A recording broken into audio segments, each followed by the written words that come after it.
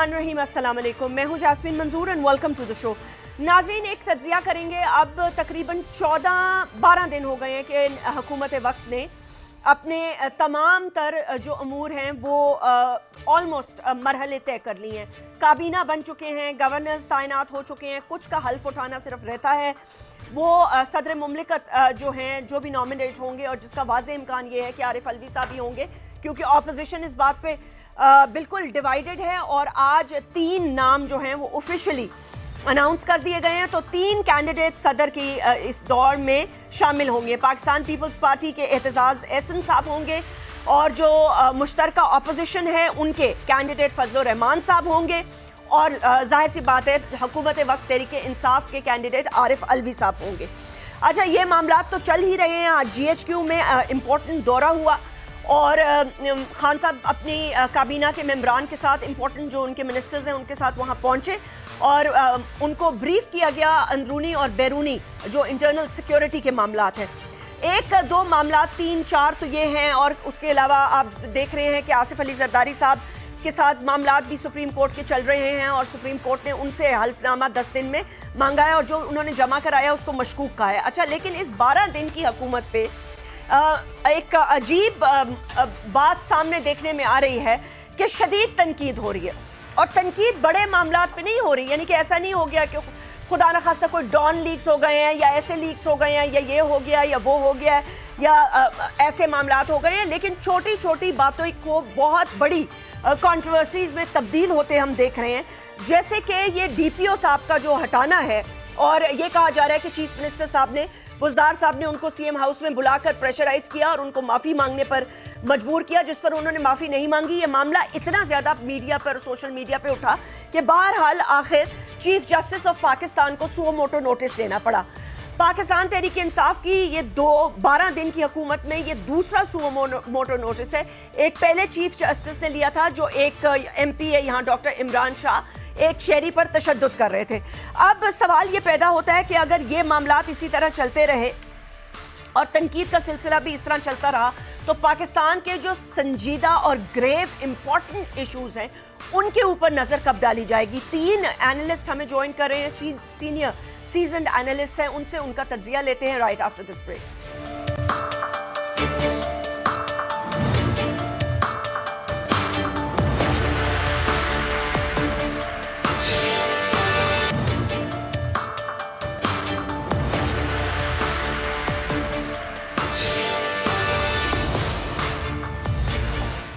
back ہمیں join کیا حارث خلیق صاحب نے. Very senior analyst Ammar Masood sahab very senior analyst Liaquat Shahwani sahab senior analyst بہت بہت شکریہ. السلام علیکم. اور تجزیہ کریں گے ان بارہ دن کا. تو حارث خلیق صاحب، میں آپ سب لوگوں کو ویلکم کرتی ہوں. بہت شکریہ وقت نکالنے کا. ان بارہ دن کی اسیسمنٹ اگر میں آپ سے پوچھوں، تو آپ کیسے کریں گے؟ بہت بہت شکریہ جیسمن. کوئی دو باتیں میں آپ سے عرض کروں بالکل ایک تو میں آپ کو بالکل ایمانداری سے بتاؤں کہ میں تو آج تک پاکستان میں خیر کوئی بھی وزیر اعظم ہماری مرضی سے نہیں آیا لیکن میں تو یعنی بالکل ایمانداری کی بات یہ ہے کہ میں تحریک انصاف کا حامی نہیں رہا۔ لیکن اس وقت جو صورتحال ہے وہ میں سمجھتا ہوں ان کے ساتھ بہت زیادتی ہے۔ ٹھیک ہے۔ یعنی بارہ دن کے کی کارکردگی دکھانے کے لیے کچھ کچھ شاید ان کی اپنی غلطی بھی ہے کہ انہوں نے اتنے معمولی معمولی معاملات کو ملک کے بنیادی مسئلے بنا کے پیش کیا اپنی الیکشن کیمپین میں کہ اب وہ ان کے گلے پڑ رہے ہیں۔ مثال کے طور پر کوئی ایکسپیکٹ نہیں کرتا ایک بائیس کروڑ کی آبادی کے نو لاکھ مربع سکوائر کلومیٹرز پہ پھیلے ہوئے ملک کے وزیر اعظم سے ایک انتہائی سیکیورٹی کے جس کے اتنے بڑے مسائل ہیں اس ملک کے جس میں بے نظیر بھٹو شہید ہو چکی ہیں دس برس پہلے ہی جی۔ کہ ہم عمران خان صاحب جو ہیں وہ رکشے پر بنی گالا سے جو ہے خیر اسلام آباد میں تو رکشے چلتے ہی نہیں لیکن ظاہر ہے مطلب ہے کہ موٹر سائیکل پہ یا اپنا ایک سزوکی گاڑی پہ تو کوئی ایکسپیکٹ نہیں کر رہا تھا کہ وہ پرائم منسٹر ہاؤس جائیں گے لیکن انہوں نے خود پہلے دن سے اس قدر غیر ضروری مسائل کو کفایت شعاری کی مہم کو اور دیگر مسائل کو اتنا اپنی کیمپین میں استعمال کیا کہ وہ ان کے گلے پڑ رہے ہیں۔ مگر میں پھر بھی کہوں گا اپنی بات کی طرف واپس آتے ہوئے کہ میرا خیال ہے کہ جو اقتدار میں حکومت آئی ہے جس طرح سے بھی آئی ہے اس پہ بھی دس سوالات ہیں۔ مینڈیٹ ڈسپیوٹڈ ہے نہیں ہے۔ اس سب کو ایک طرف رکھ کے ہمیں انہیں ایمانداری سے وقت دینا چاہیے۔ چاہے وہ ذرائع ابلاغ ہوں، چاہے وہ لوگ ان کے ناقد رہے ہوں پہلے یا ان کے حامی اور حلیف رہے ہوں۔ ایک وقت دینا بہت ضروری ہے۔ بارہ دن کوئی مدت نہیں ہوتی۔ میں تو سمجھتا ہوں ابھی یہ سو دن بھی ان کے گلے پڑنے والا ہے۔ چونکہ یہ بہت ہی نا تجربے کاری اور بہت ہی میں سمجھتا ہوں کہ ایک لایانی بات تھی کہ جی ہم سو دن میں اتنے سب کام کر دیں گے۔ ان کو پتہ نہیں تھا۔ حالانکہ آدھے سے زیادہ لوگ تو مشرف کی کابینہ والے ہیں جو کہ کیمپین میں شامل تھے۔ انہیں اندازہ نہیں تھا کہ مشرف صاحب تین سال میں انیس سو ننانوے سے دو ہزار دو تک جو کام نہیں کر سکے وہ یہ آ، آ، تین مہینے میں کیسے کر دیں گے؟ لیکن وہ بہرحال ایک الیکشن کی اپنی ایک ریٹرک ہوتی ہے جیت گئے ہیں۔ تو سو دن بھی ان کے گلے پڑیں گے۔ میں سمجھتا ہوں کہ چھ مہینے سے ایک سال کا وقت ایک معقول وقت ہوتا ہے۔ ایک سال بہرحال دینا چاہیے کہ جس میں آپ کو یہ اندازہ ہو کہ انہوں نے اگر کوئی غلطیاں کر بھی لی ہیں تو کیا ان غلطیاں آ، غلطیاں درست کی جو کچھ اور کام ان سے کوئی سٹیپس غلط لے لیے ہیں معیشت میں یا دیگر حوالوں سے ان کا کوئی تدارک کیا؟ میں تو کبھی بھی اینالائز نہیں کر سکتا کسی بھی حکومت کی کارکردگی کو جب تک وہ اپنا پہلا بجٹ پیش نہ کر دے۔ Exactly. تو یہ یہ میں مطلب یہ میں بہت آپ سے یعنی چاہے میری مرضی کی حکومت ہو یا مرضی کی نہ ہو اور جیسے میں نے پہلے عرض کیا کہ مرضی کی تو رہتی ہی نہیں ہے حکومتیں ہماری چونکہ ایک پورا ایک نیو لبرل ایجنڈا پہ کنسنسس ہے آپ تمام دوستوں کا اور آپ سمجھتے ہیں کہ بس یہ یہی راہ ہے آ، ترقی کرنے کی اور گروتھ کو بڑھانے کی۔ تو جن لوگوں کا اس سے اصولی اختلاف ہے ان کی اس طرح کی کسی بھی حکومت سے ظاہر ہے کہ۔ انڈرسٹینڈنگ نہیں ہو سکتی۔ ٹھیک ہے۔ لیکن لیکن وقت دینا چاہیے۔ وقت دینا چاہیے۔ لیاقت شوانی صاحب ایک بات بتائیے گا۔ جیسے حارث نے یہ بات کی یہ بات بالکل درست ہے۔ لیکن کیونکہ آپ کو یاد ہے، الیکشن ٹرانسمیشن میں بھی ہم نے بڑا وقت ساتھ گزارا اور بڑی تجزیے کی اور گھنٹوں ہم بیٹھے رہے ریزلٹس کو میں اور آپ دیکھتے رہے۔ سوال یہ پیدا ہوتا ہے کہ جیسے انہوں نے کہا کہ دیکھیں کفایت شعاری اور اس کے علاوہ لیس پروٹوکول، ایک عام انسان کی طرح زندگی گزارنا، یہ ساری چیزیں خالی الیکشن کیمپین نہیں تھیں۔ یہ ان کی دو ہزار میرے خیال سے آپ دو ہزار سات سے لے کے دو ہزار اٹھارہ تک کی آپ کی ان کی کیمپین دیکھ لیں۔ اور پھر دھرنے کے بعد جو کفایت شعر- کفایت شعاری کی مہم کے حوالے سے انہوں نے باتیں کرنا شروع کی اور جو بھی کیا۔ تو ایکسپیکٹیشنز راکٹ ہائی ہو گئی۔ تو اب معاملہ یہ ہے کہ جو چھوٹے چھوٹے معاملے ہیں نا، وہ بھی out of proportion blown up لگ رہے ہیں۔ جبکہ ان باتوں پہ کوئی بات نہیں ہو رہی کہ نیب کے قوانین سخت ہونے جا رہے ہیں۔ اس کے ساتھ ساتھ سپریم کورٹ میں کیا معاملات چل رہے ہیں۔ زرداری صاحب کے حلف نامے حلف ناموں پہ بات نہیں ہو رہی۔ تو آپ اس کو کس طرح اینالائز کرتے ہیں؟ دیکھیں جیسمین کفایت شاری عوام کا مسئلہ نہیں ہے۔ عوام کا مسئلہ معاشی بدالی سے نکلنا اور روزگار کی فراہمی ہے۔ اس کفایت شاری کے گھنٹی کو عمران خان نے اپنے گلے میں خود جو ہے باندھ دیا ہے۔ اور اب جہاں جہاں وہ جائے گا اس کی آواز آئے گی۔ جیسے عارض خلیق صاحب نے بھی کہا کہ ابھی بارہ دن ہی ہوئے۔ کوئی بھی ایسا فصل نہیں ہے جو بارہ دن میں تیار ہو جائے۔ جو سب سے کم وقت میں فصل تیار ہوتی ہے وہ بھی پالک اور سلاد کے پتوں کی ہیں اسے بھی ایک مہینہ لگتا ہے۔ کچھ اور سبزی ہیں جنہیں دو سے تین ماہ لگ جاتے ہیں۔ جی۔ اور اگر اس وقت اپوز- اپوزیشن یا عمران خان کے مخالفین بزد ہوں کہ عمران خان وزیر اعظم بنتے ساتھ ہی کیوں وہ فصل کو ہارویسٹ کر کے ہم تک نہیں پہنچا سکتے پہنچا رہے تو یہ بالکل فطری اصولوں کی خلاف ورزی ہوگی۔ لیکن عمران خان کچھ ایسے اقدامات اب جو ہم گوج کریں گے اس پیریڈ میں وہ یہ ہوں گے کہ روایتی طور پہ یہ پہلے ایک ڈیڑھ مہینے ministers chief minister M P as وہ اپنا ٹیم بناتے ہیں خاص ٹیم اس خاص ٹیم میں کون ہوتے ہیں؟ Corrupt P S corrupt P A ٹھیکدار ان سے یہ معاملات پہلے ہی طے کر لیتے ہیں اور پھر کارکنان اور عوام کو جو ہے پہلے ان کو بتا دیتے ہیں کہ ان کے لیے اب دروازے بند ہیں۔ اگر عمران خان یہ کرپٹ پریکٹس کو ختم کر کے ایک نئی پریکٹس سامنے لاتے ہیں، میں سمجھتا ہوں کہ یہ بھی بہت بڑی بات ہوگی۔ اور ان نان ایشوز کو ہم نے ایسا ایشو بنا لیا جیسے آپ نے ذکر کیا ایکچوئل ایشوز ہمارے رہ گئے۔ یہ تو بالکل اسی طرح کی بات ہے کہ کوئی شخص کہتا ہے کہ میں وزن کم کرنے کے لیے ڈائٹ پلان پہ ہوں۔ نہیں، لیاقت اور بیچ صاحب، میں کسی دن جی۔ قطع کلامی معاف سر لیکن یہ بات بالکل ٹھیک ہے جیسے حارث نے پوائنٹ آؤٹ کیا ہے۔ آپ اس آپ کہہ رہے ہیں نا کہ فائد شعاری عوام کا مسئلہ نہیں ہے۔ یہ عوام کا بہت بڑا مسئلہ ہے۔ دیکھیں نا پاکستانی عوام نے جب آپ کہتے ہیں تبدیلی کا نعرہ لگایا اور تبدیلی کے لیے ووٹ دیا اور تب تو تو جو خان صاحب خود پریکٹس کرتے ہیں ہم وہ ایکسپیکٹ کیا جاتا ہے کہ چیف منسٹرز اور دیگر لوگ وہی کام کریں گے۔ یعنی کہ بادشاہت کا نظام یا جسے آپ بادشاہت کا نظام کہتے رہے ہیں، ہم کہتے رہے ہیں، تنقید کرتے رہے ہیں کہ جی وسائل کا بیجا استعمال ہیلی کاپٹروں کا، جہازوں کا بیجا استعمال، اپنے ساتھ پچاس پچاس گاڑیوں کی پروٹوکول۔ اچھا ابھی یہ چیزیں اور کہیں سے نہیں نمودار ہوئی لیکن اس کا ایک ہم نے نمونہ پنجاب میں دیکھا۔ اب کانٹروورسیز جو ہیں وہ زیادہ بزدار صاحب کے علاقے سے ہی نکل کے آ رہی ہیں۔ آپ یہ دیکھ لیں پچھلے تین دن سے۔ دیکھیں، جس نمونے کو انہوں نے وزیر اعلیٰ بنایا ہے، اس کے لیے ہم نے بڑا فائٹ بھی کیا۔ حالانکہ یہ سب کہتے رہے کہ اس کی تعلیم نہیں، ہم دلائل دیتے رہے کہ صرف تعلیم کرائٹیریا نہیں ہونا چاہیے پولیٹیکل اسٹرگل کرائٹیریا ہونا چاہیے کسی بھی کی پوزیشن کے لیے۔ ہم یہ دلیل دیتے رہے کہ پڑھنے لکھنے سے اگر کوئی مخلص اور ایماندار شخص بن جاتا ہے تو پھر پاکستان کے بیروکریٹس کو ڈیلیور کرنا چاہیے تھا، کیونکہ تمام بیروکریٹس وہ C S S P C S کا ایگزام پاس کر کے آتے ہیں۔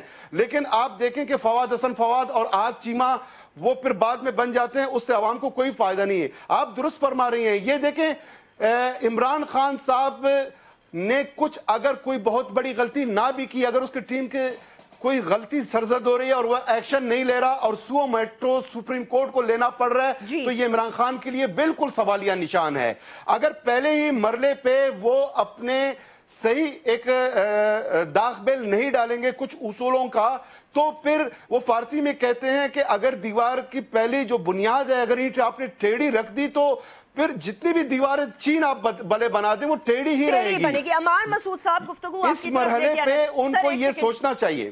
نہیں، اب تو سوچنے کا وقت چلا گیا نا۔ دیکھیں نا، معاملہ اتنا تو تھا کہ چیف جسٹس نے سو موٹو نوٹس لے لیا ہے اب سوال یہ پیدا ہوتا ہے کہ یہ جو تین، پچھلے تین، چار دن جو چل رہے تھے اس کے اندر خان صاحب کو یا خان صاحب کے کسی سینئر وزیر کو اس معاملے کی تحقیق کر کے اس کو اس کو نپٹا دینا چاہیے تھا خوش اسلوبی سے۔ اگر ڈی پی او صحیح تھا تو ڈی پی او کو کو کو ری انسٹیٹ کرتے اور ان افسران کو کو کی تنبیہ کرتے اور سزا دیتے جنہوں نے غلطی کی۔ عمار مسعود صاحب، میں آپ سے یہ پوچھنا چاہتی ہوں، بزدار صاحب اور بزدار صاحب سے جڑی ہوئی کانٹروورسیز آپ کو لگتا ہے جیسے لیاقت صاحب نے کہا جو نمونہ یہ چوائس کیوں تھی؟ انہوں نے کہا تعلیم ضروری نہیں ہے۔ میں کہتی ہوں تعلیم ضروری ہے۔ کیونکہ خان صاحب نے ہر ہر دفعہ، ہر جگہ یہی کہا ہے کہ اتنے بچے اسکولوں سے باہر ہیں، اتنے بچے اسکولوں سے باہر ہیں، اتنے بچے اسکولوں سے باہر ہیں۔ تو تعلیم تو بنیادی چیز ہے آپ کی، ہونی کہ آپ چیف منسٹر ہیں ایک صوبے کے۔ بنیادی طور پہ جو بزدار صاحب کی اپوائنٹمنٹ ہے اس کے حوالے سے دو تین چیزیں بہت امپورٹنٹ ہیں۔ یہ جو میرے دوستوں نے بات کی اس سے ذرا مختلف بات کرنے لگا ہوں کہ پی ٹی آئی کے اندر بنیادی طور پہ دو گروپس بڑے واضح ہیں شاہ محمود قریشی اور جہانگیر ترین صاحب جا اور جہانگیر ترین صاحب کا اپوائنٹمنٹ میں زیادہ رول رہا ہے۔ اس وقت انہیں بزدار صاحب کی جو سب سے زیادہ خوبی نظر آئی ہے آپ اس بات کو بھول جائیے کہ وہ چھ قتل کا کیس تھا اور دیت کا فیصلہ مسئلہ تھا، یا ان کے والد جو ہیں وہ ایم پی اے رہے اور یہ خود بھی ناظم رہے اور پھر اس کے بعد یہ ایم پی اے بھی رہے کاف لیگ کی طرف سے، اس کے باوجود اپنے گھر میں بجلی نہیں لگوا سکے تو ان کی کارکردگی صفر بٹا صفر ہے۔ لیکن ایسے لوگ درکار ہوتے ہیں، ایسے لوگ کیوں درکار ہوتے ہیں کہ ایسے لوگ بہت ہی فرما بردار اور متی قسم کے لوگ ہوتے ہیں۔ اس لیے کہ ان کی طرف سے کسی قسم کی بغاوت کا کوئی امکان نہیں ہوتا۔ جو کچھ آپ کہتے ہیں وہ انہوں نے تسلیم کر لینا ہوتا ہے۔ پنجاب میں وزیر اعلیٰ کے پے کی پوسٹ کے لیے بہت زیادہ کام کیا تھا علیم خان صاحب نے اور انہوں نے انویسٹ بھی کیا حلقوں میں بھی افراد میں بھی امیدواروں میں بھی پارٹی میں بھی۔ لیکن انفارچونیٹلی ان کو وزیر اعلیٰ نہیں بنایا گیا لیکن انہیں سینئر وزیر بنا دیا گیا۔ اس طرح وہ ایک طرح سے لائف ٹائم تھریٹ بھی ہے بزدار صاحب کے لیے۔ ابھی جو اس سے پہلے گفتگو ہو رہی تھی اس میں میں کچھ بات کرنا چاہتا ہوں۔ جیسے شہوانی صاحب نے مثال دی ساگ کی اور سلاد کی۔ میری زرعی معلومات اتنی زیادہ نہیں ہے لیکن اس کے باوجود میں آپ کو یہ بتانا چاہتا ہوں کہ تحریک انصاف نے جو بویا ہے وہی کاٹ رہے ہیں۔ پانچ سال ہم نے کیا دیکھا ہے؟ ابھی فیصلہ کرو ابھی کرپشن ختم کرو ابھی چوروں کو گرفتار کرو ابھی ڈاکوؤں کو پھانسی لٹکا دو۔ اور اس کے علاوہ بہت سارے ایسے جملے الزامات اور خواہشات جو سکرین پہ شاید کہیں بھی نہیں جا سکتی۔ تو انہوں نے جو کچھ کہا جو کچھ کہا، وہی لوگ جن کو جج کر رہے ہیں۔ یہ بات بالکل صحیح ہے کہ اتنی جلدی حکومت کو جج نہیں کرنا چاہیے۔ لیکن اب ہم کیا کریں؟ ہم نے دس بارہ دن جو دیکھے ہیں، اس میں جو فیصلے ہوئے ہیں، اسی حوالے سے بات کرنی ہے نا۔ اگر آپ فیاض چوہان کو پنجاب کا وزیر اطلاعات بناتے ہیں اور وہ صحافیوں کو گالیاں دیتا ہے اور اس کا پاس جو ریکارڈ رہا ہے، تو پھر آپ کو ایک نظریہ نظر آ رہا ہے، ایک سوچ نظر آ رہی ہے، ایک ٹریٹمنٹ نظر آ رہا ہے کہ آپ نے لوگوں کو کس طرح ٹریٹ کرنا ہے جن کی آواز آپ سے مختلف ہوگی۔ ایک نقطہ اور میں آپ کو بتانا جی، چاہتا ہوں۔ دیکھیے اس سارے عمل میں ایک بہت بڑی ٹریجڈی ہو رہی ہے۔ آصف زرداری صاحب کی پیپلز پارٹی کی حکومت ختم ہوئی تو ہم نے یہ امپریشن کریٹ کیا کہ اس سے زیادہ کرپٹ بیڈ گورننس والی حکومت کوئی نہیں ہو سکتی۔ نواز شریف صاحب کیا دور حکومت ختم ہوا تو ہم نے یہ بتایا اور لوگوں کو یہ بار بار باور کرایا کہ یہ چور ہیں کرپٹ ہیں ڈاکو ہیں غدار ہیں کافر ہیں۔ اب عمران خان کے ساتھ جو سلسلہ شروع ہو گیا ہے مجھے بہت دکھ ہوگا کہ ان کے ساتھ بھی یہی ہو اور ہوگا۔ جس کا نتیجہ کیا نکلے گا؟ اس کا یہ نتیجہ نکلے گا کہ ہم نے تین بڑی پارٹیوں کو اس ملک میں ٹرائی کیا۔ اور یہ سارے سیاستدان ہیں آپ ان کی سوچ سے نظریے سے اختلاف ضرور کر سکتے ہیں۔ نتیجہ ہم یہ نکالیں گے کہ سیاستدان جو لوگ عوام کے ووٹ سے منتخب ہوتے ہیں وہ غلط لوگ ہوتے ہیں اور یہ غلط نتیجہ ہے۔ وہ ناکام ہو چکے ہیں۔ نہیں نہیں ناکام تو خیر کیے جاتے ہیں لیکن ان کو ہم غلط ثابت کر دیتے ہیں۔ یہ کوئی اچھی روایت نہیں لیکن عمار صاحب دیکھیں نا آپ بالکل دیکھیں میری بات سنیں۔ میں آپ سے میں آپ سے ایگری کرتی ہوں۔ غلط ہم ثابت کر دیتے ہیں۔ شاید ہمارا بھی رول ہوگا۔ خلیق نے کہا حارث نے کہا کہ ہم بہت اوور تنقید کر رہے ہیں اور اسپیشلی چلے، دیکھیں، یہ بات تو واضح ہے نا کہ دیر اے بگ ڈویژن ایک ڈویژن ہے جو یہ سمجھتے تھے کہ وہ لوگ وہ لوگ موجود ہیں جو سمجھتے ہیں کہ خان صاحب نے جو بھی تحریک چلائی اور جو باتیں انہوں نے کی، انہوں نے دل سے کی اور پاکستان ایسا ہی ہونا چاہیے۔ ایک وہ طبقہ ہے جو کہتا ہے کہ وہ ایلیٹسٹ ہے اور اس گروپ کا ہے اور وہ سمجھتا ہے کہ نہیں ہونا چاہیے۔ مان لیا تو کلیئر ڈیویژن تو ہے۔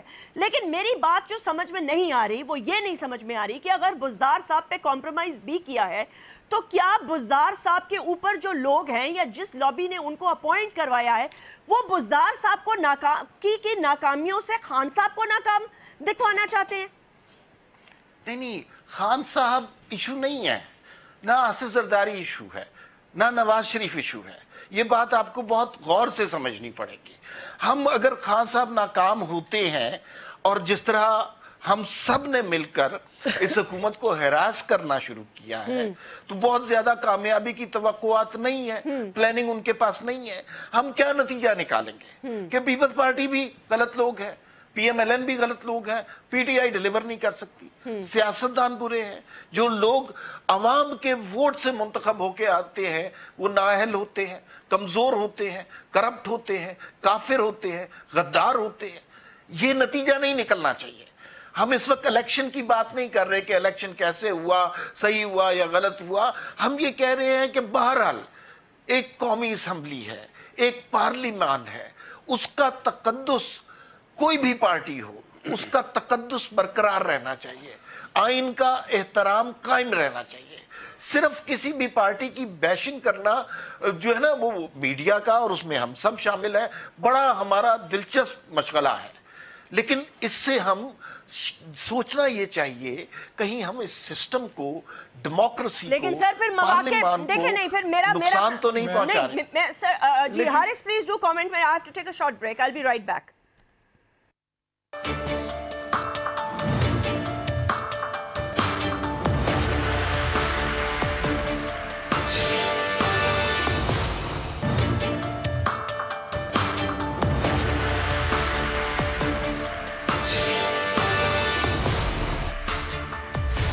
Welcome back Haris Khaliq صاحب جس طرح کی آپ یو وانٹیڈ ٹو کامنٹ تو میں ایڈ کر دوں. دیکھیں، جس طرح کی امید اور جس طرح کی باتیں اور جو کچھ خان صاحب نے کہا، جس کے بہاف پر پاکستان نے یہ سب کی عوام نے I'm not going to go into election but let's assume جو جو ووٹر تھا یا جو یوتھ ہے، اس نے یہ کہا کہ بھائی، یہ سٹیٹس کو بادشاہت اور ایک ایلیٹس نظام کو ختم کرنے کے لیے ایک ایک ہی آخری راستہ رہ گیا ہے، بس اس کو نہیں آزمایا، اب اس کو آزما لو۔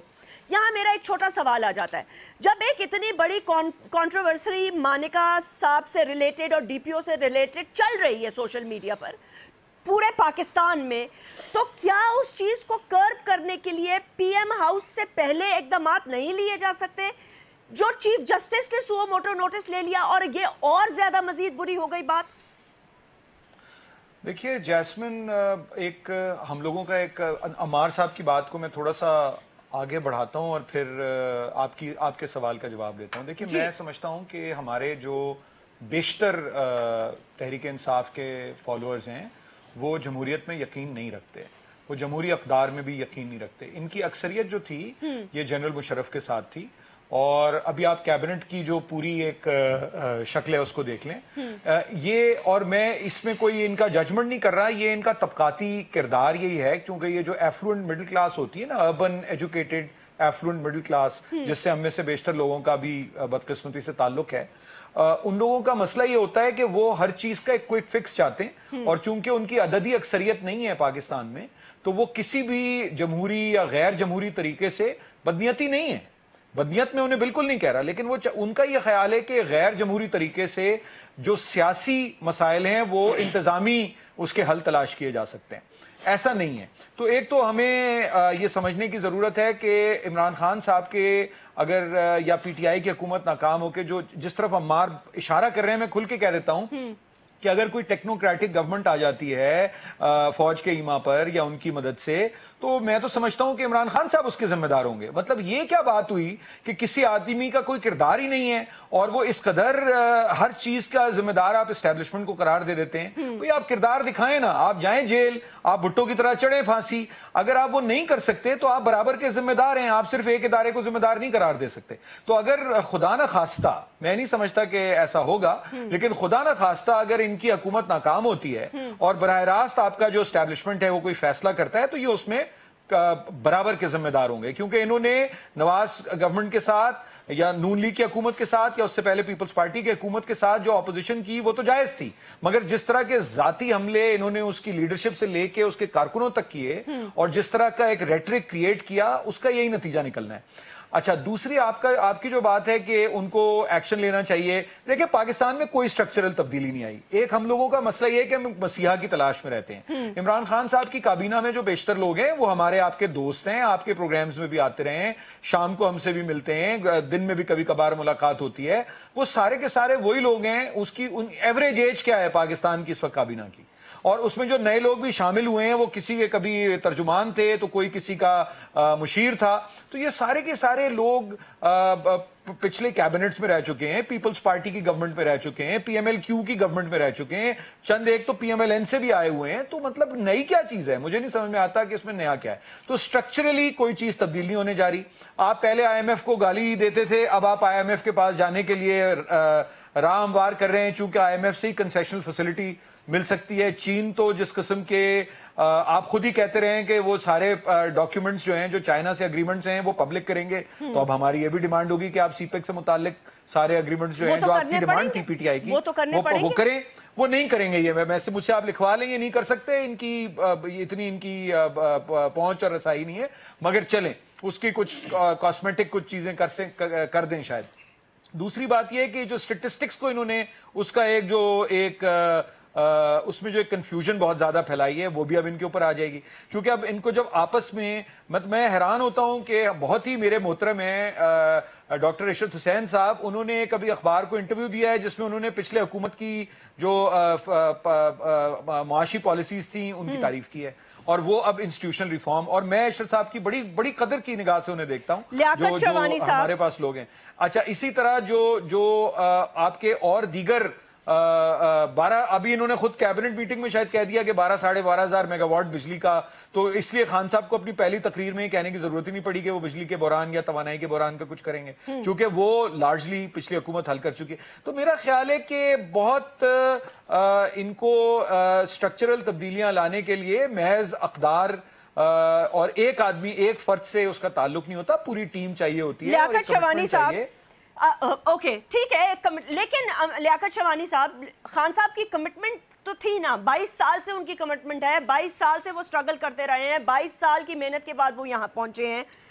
آخر ایمبیشن زیادہ تھا کمٹمنٹ کم تھی سوری اوکے اوکے ایمبیشن چلے ٹھیک ہے آپ کہتے ہیں ایمبیشن زیادہ تھا کمٹمنٹ کم تھی لیکن آپ لیاقت صاحب سے یہ سوال کر لیں اس میں اس کے بعد میں بھی کچھ ایڈ کروں۔ جی جی۔ جی ضرور۔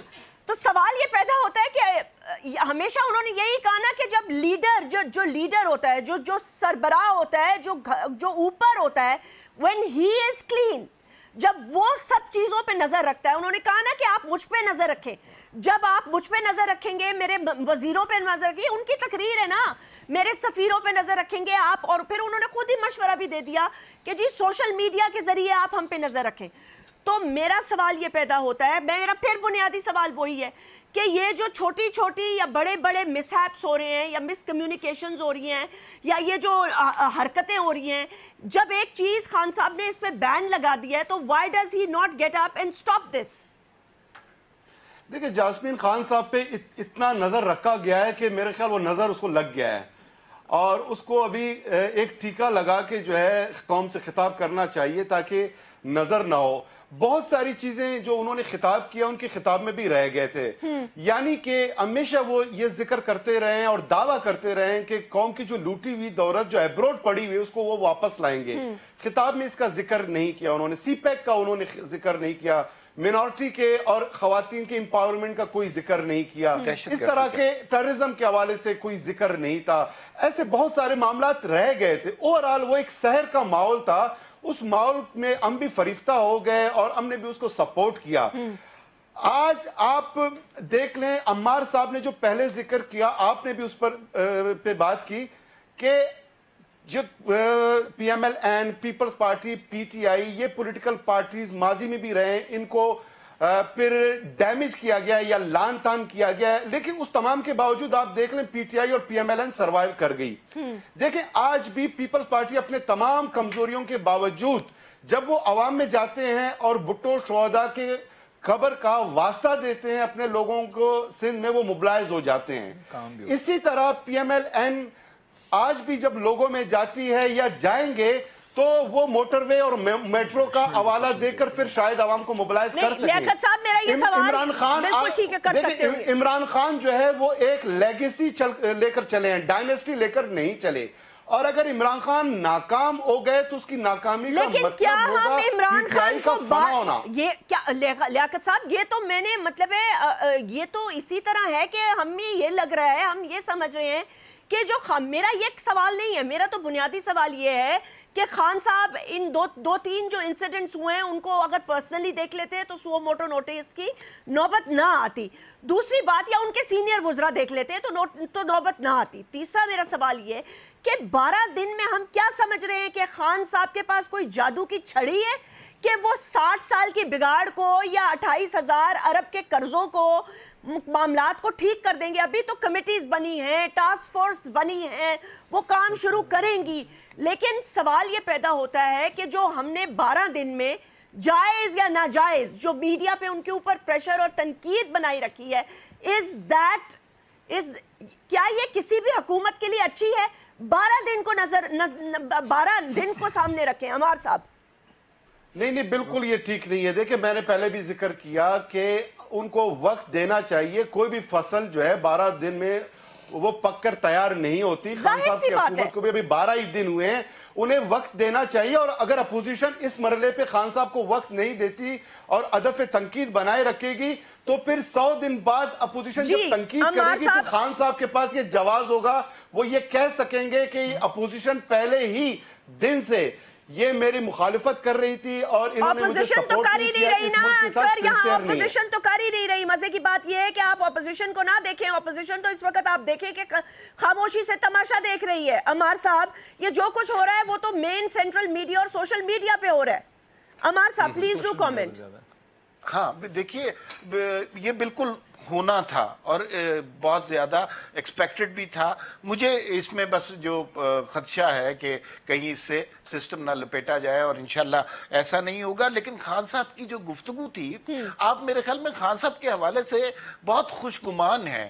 آپ کے خیال میں کہ ابھی بھی ایک شخص جو اوپر بیٹھا ہوا ہے وہ سب کو دیکھ رہا ہے اور مانیٹرنگ کر رہا ہے اور ذرا کسی نے غلط بات کی تو اس کو وہاں سے نکال دے۔ یہ ہم مثلا یہ کس قسم کا کھیل کی بات کر رہے ہیں، یہ ڈیموکریسی ہے، اس میں اس طرح کام نہیں ہوتا۔ خان صاحب کے وعدوں کے حوالے سے اگر آپ نے دیکھنا تھا تو کے پی کے کی صورتحال دیکھتے، آپ وہاں پہ احتساب کمیشن کے ساتھ جو حشر کیا، اس کا صورتحال دیکھیے۔ آپ وہاں پہ بی آر ٹی میں جو انیس ارب روپے کی کرپشن کے حوالے سے بات تھی، وہ جن صاحب پہ وہ بات آئی تھی، آپ کو پتا ہونا چاہیے کہ وہ آج کل اس ملک کے وزیر دفاع بن چکے ہوئے ہیں۔ تو آپ کیوں ان باتوں پہ بلیو کر رہی تھی کہ اگر انہوں نے یہ کہہ دیا اور ایسا کر دیا تو ایک دم سب کچھ ٹھیک ہو جائے گا؟ یہ صرف الیکشن کے پاپولر سلوگن تھے۔ جیسے یہ آسٹیریٹی ڈرائیو ہے یہ بھی پاپولر سلوگن ہے۔ بھئی دیکھیے کس قدر احمقانہ بات ہے۔ پاکستان کے مسائل کچھ اور ہیں۔ اگر چائے کے ساتھ دو بسکٹ کے بجائے ایک بسکٹ رکھا جائے گا تو میں بہت خوش ہوں کہ وہ جو ڈھائی کروڑ بچوں کا ذکر ہوتا ہے ان بچوں کو وہ بسکٹ مل جائے گا۔ لیکن نہیں ملے گا۔ اگر آپ پرائم منسٹر ہاؤس میں جاتے ہیں اور آپ کو پانچ سو چھبیس ملازمین وہاں پہ نظر آتے ہیں اور آپ کہتے ہیں میں نے دو ملازمین رکھے ہیں، تو وہ پانچ سو چوبیس یا تو فارغ ہو جائیں، ان کی تنخواہوں کے اخراجات رک جائیں، ان کی پینشن نہ دی جائے وہ وہیں پہ ہی ہیں۔ تو یہ صرف کاسمیٹک ہے، لیپا پوتی ہے، اس سے ہونا کچھ بھی نہیں ہے۔ اور پاکستان کی ہسٹری میں اس طرح کے بہت سارے واقعات ہیں۔ جنرل یاہیا بھی اسی طرح کی باتیں کرتے تھے۔ مجلس شورا میں ایک خاتون آئی تھی رکشے پہ۔ اور دس دن میڈیا نے چلایا کہ رکشے اس ملک میں سادگی آ گئی۔ اس کے بعد وہ خاتون کبھی رکشے میں نہیں بیٹھی۔ ضیاء الحق نے بھی سائیکل چلائی تھی۔ جنیجو صاحب نے بھی چھوٹی گاڑیوں کا وعدہ کیا تھا۔ کوئی آئی اس ملک میں چھوٹی گاڑیاں؟ یہ صرف تو عمار صاحب آپ یہ کہ پاکستان کے مسائل بہت شدید ہے۔ They are not prepared ان کی کوئی معاشی منصوبہ بندی نہیں ہے۔ ہر سوال کا جواب یہ نہیں ہوتا کہ ہم اس کی ٹاسک فورس بنا دیں گے۔ آپ کو اپنے پلانز ریویل کرنے دیں کرنے پڑتے ہیں۔ مجھے یوں لگتا ہے کہ تحریک انصاف کے لیے حکومت میں آنا خود بہت بڑا انکشاف ہے جس کے لیے وہ خود تیار نہیں تھے۔ حارث خلیق صاحب you think they not prepared نہیں میرا خیال ہے کہ تحریک انصاف کو ذرا تھوڑا سا سمجھنے کی ضرورت ہے۔ تحریک انصاف اصل میں پچھلے چھ مہینے میں پارٹی اس شکل میں آئی ہے جو حکومت میں آئی ہے۔ تو یہ پارٹی سے زیادہ پارٹی کے اندر بذات خود ایک کولیشن ہے۔ گزارش کروں کہ فالٹ فالٹ فائنڈنگ مشن کے طور پر اگر پی ٹی آئی حکومت میں آنے کے بعد بھی کام کرتی رہے گی تو نہ اپنے لیے اچھا ہوگا نہ دوسروں کے لیے۔ کیونکہ ہوا یہ کہ یہ دوسروں کے فالٹس پہ انہوں نے اپنی پالیٹکس بلڈ کی ہے نا۔ مطلب اپنے پروگرام پہ، اپنے ایجنڈا پہ تو پالیٹکس نہیں بلڈ کی، انہوں نے تو دوسروں کی خرابی پہ اپنی پالیٹکس بلڈ کی ہے۔ تو اگر آپ اپنی ساری سیاست جو ہے وہ فالٹ فائنڈنگ کے بنیاد پر رکھیں گے اب بھی تو ابھی بھی تھوڑا سا وقت لگے گا ان کو یہ سمجھنے میں کہ اب یہ حکومتی پارٹی ہیں۔ چونکہ اور ان کے حامیوں کو بھی یہ سمجھنے میں وقت لگے گا کہ یہ حکومتی پارٹی ہیں۔ اور میں تو سمجھتا ہوں کہ یہ پاکستان میں ایک سنہرا موقع ہے۔ بھٹو صاحب کے ساتھ سیونٹی ون میں سارے انسٹیٹیوشنز تھے۔ نواز شریف کے ساتھ نائنٹین نائنٹی میں سارے انسٹیٹیوشنز تھے۔ دو ہزار اٹھارہ میں عمران خان کے ساتھ سارے انسٹیٹیوشن یہ سنہری موقع ہے۔ اور اگر خان صاحب تھرڈ ٹائم لکی اگر ملک ہو جائے تو بڑی اچھی بات ہے۔ میں نے پہلے بھی ایک دفعہ یہ بات کی تھی لیکن یہ let's conclude on this note that we must give them a chance because obviously overnight کوئی بھی چیز ٹھیک نہیں ہو سکتی اور جو بڑے بڑے مسائل ہیں میرے خیال سے اب ہمیں اس کی طرف آنا چاہیے اور ان چیزوں پر نظر ثانی کرنی چاہیے، ان ٹاسک فورس کے بارے میں باتیں کرنی چاہیے اور ان کو ڈسکس کرنا چاہیے کہ وہ پاکستان کی جو سنگین مسائل ہیں، ان کے لیے ان کے کیا پلانز ہیں۔ حارث خلیق صاحب، عمار مسعود اینڈ لیاقت شوانی صاحب thank you for joining time ختم ہو چکا ہے، آپ سے پھر ملاقات ہوگی۔ اللہ حافظ۔